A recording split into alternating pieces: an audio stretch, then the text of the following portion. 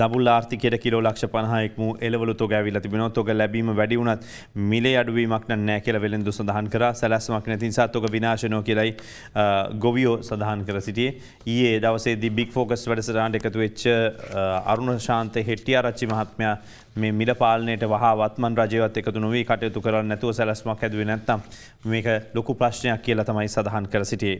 ඉති මහකන්නේ ඩම්පාරෙක මුරුවක් එක් ලක්ෂ සූදහක් වගා කිරීමට සියලු කටයුතු සූදානම් බවාරය මාර්ග මහවාරය මාර්ගයට තමයි මේ වගා කිරීම කටයුතු සිද්ධ වෙන්නේ ඉංගිනියාගල සේනනායක සමුද්‍රයේ වම් හා දකුණු යුරයටතේ කුමරුවක් කළ එක් ලක්ෂ පනසය දහසක් අස්වදීමට නියමිතව තිබෙනවා. ගොයම් කැපීමෙන් පස් පනල්ලට පිදුරුවලට ගිනි තැබීම මහවරි කලාපේ ජනජීවිත තර්ජනයක් වෙලා තිබෙන ගොවි සංවිධාන නියෝජිතයෝ කියනම එක් කරන්න එපා කියලා නමුත් ඒක තවදුරට සිද්ධ වෙනෝ කියනක තමයි ඔවුන් කියන්නේ ඒ කටයුතු ඔවුන්ට ඇත්තරම බාධාවක් කියල තමයි මේ අවසාාවේ සඳහන් කළති වෙන්නේ. අද දෙරන YouTube නාලිකාව.